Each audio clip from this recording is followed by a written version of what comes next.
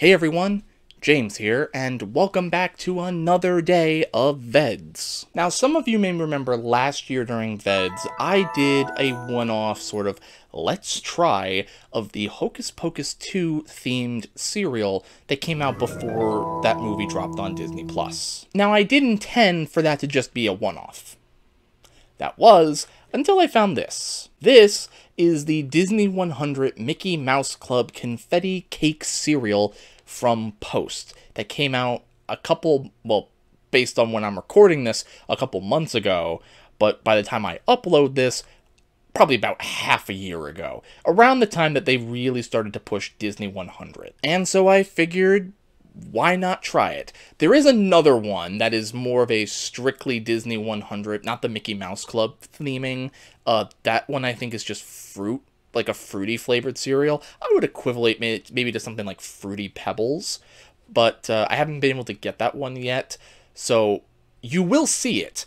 I will cover it this month but as of right now, I do not have it as of when I'm recording this. Now, I did learn my lesson from last year in that I already have it ready to go, but I will tell you, when I opened up the box, this thing claims it's like confetti cake. Uh, it definitely smells, well, number one, it smells like sugar, but that's gonna happen. Uh, but it does kind of, it smells better. It, I will say, it has a it has a very similar aroma strength to, I believe, the Hocus Pocus 2 cereal, which was a very, I think that was berry themed. It was a berry themed cereal, but whereas that one didn't taste like berries, it did smell like berries. Hopefully, this one does kind of taste like what they're advertising. So, yeah, let's watch the fat guy eat cereal.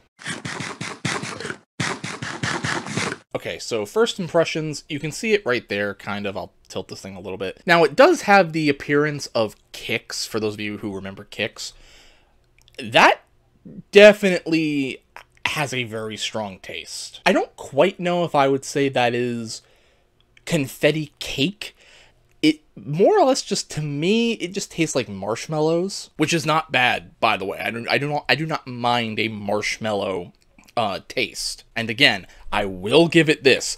It at least has a taste, which the Hocus Pocus 2 cereal did not. That was a strict false advertising. Now, would I recommend it? I mean, one, it's cheap, so that, you know, that factors in a little bit. It's cheap. I would recommend it if you like a marshmallow. If you like marshmallows, you're going to love this thing. Um, because that's, again, that's what it tastes like would I say get it over some of my favorite cereals, like say Cocoa Pebbles, which Cocoa Pebbles is my favorite cereal, bar none. Fight me. Uh, would I eat that over Cocoa Pebbles? Probably not. But Cocoa Pebbles is such a high bar to pass. So, I mean, I would definitely say it's worth trying at least once. If you're a fan of Disney and you want to kind of show your support for the Disney 100 and you want something that the box alone i mean the box alone it says limited edition on it it you know it's going to be a collector's item. So if you want it i would say try it. Again i don't think you're getting straight up ripped off like with the hocus pocus 2 cereal but uh again i will be trying the other one which is more of a fruity flavor which is also from post uh later on during the month but for right now again just kind of a quick one today. Uh which again i think the original hocus pocus video was somewhat quick uh, but yeah, if you guys have tried it, let me know what you think about it in the comments down below.